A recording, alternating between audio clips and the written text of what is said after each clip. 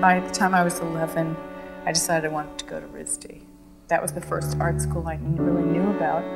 And I found out that it was the best. So, you know, that made sense. That's what I was going to do. I went around and got a map of the school and just went to every department and, you know, every part of every department and, you know, just sort of hung around and quietly watched what was going on there. And, you know, one thing after another, it was just very, it was all too quiet for me. I needed to move more. On the very last floor of the very last building I visited, as I was going down the corridor, I heard, you know, a lot of commotion, um, including this war.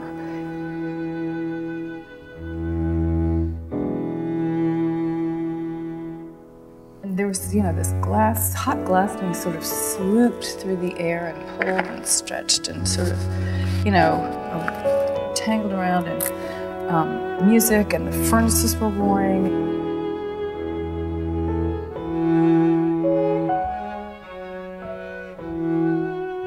What really appealed to me is that it was, was everyone moving in concert. Um, this kind of freeform choreography. And, and I love dance, so the whole thing made a lot of sense. And then there, there was this fabulous medium that was, it just had a life of its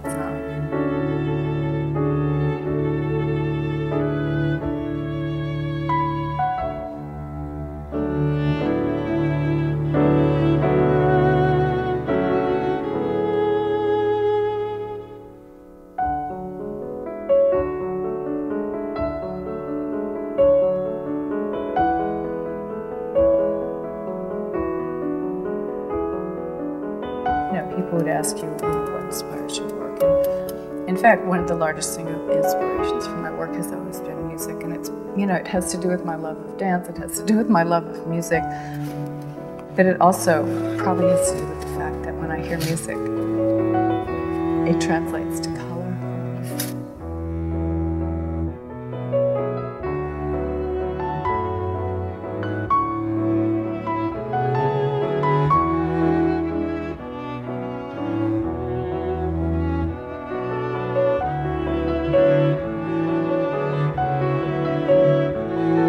I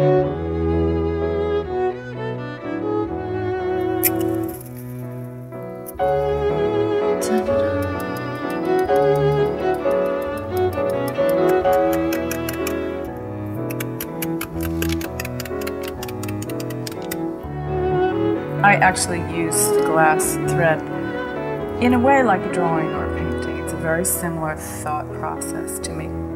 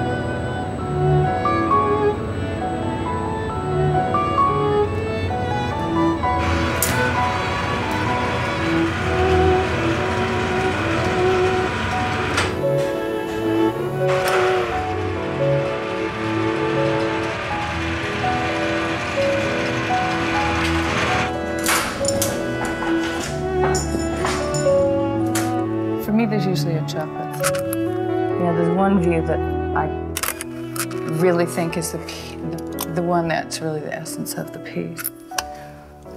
I, I couldn't work after a while. Um, you know, there were a lot of losses in the family. I would go in and I didn't want to hear any music. I just needed silence. And and then I started working and and I started working with red, with these shadows of, you know, dark black and amethyst and and they're really kind of portraits of people in a, in a way to me. And they're portraits of loss. Um, but they're also, at the same time, they're very positive. I mean, there are these brilliant, you know, rims rising out of, of kind of darkness.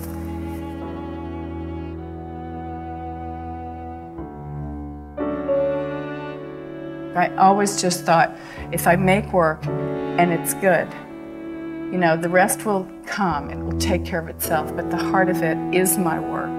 And, you know, and that's what I have to focus on is actually making work that means something to me.